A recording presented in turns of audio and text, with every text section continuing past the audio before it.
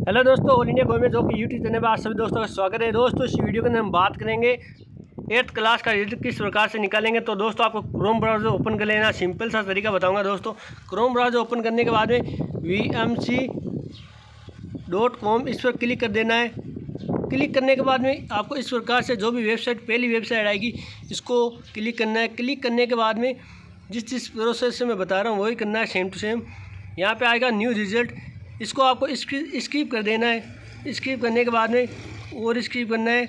यहाँ पे एक और आएगा न्यू रिज़ल्ट यहाँ पे देखो छोटे छोटे पोस्ट लगे हुए हैं न्यू रिज़ल्ट के। पास में R B S C eight class result दो हज़ार तेईस एक नाव Rajasthan board eight class result दो हज़ार तेईस। इस पर आपको क्लिक करना है। क्लिक करने के बाद में इस प्रकार से ओपन हो जाएगी। धीरे धीरे आपको स्कीप करना है।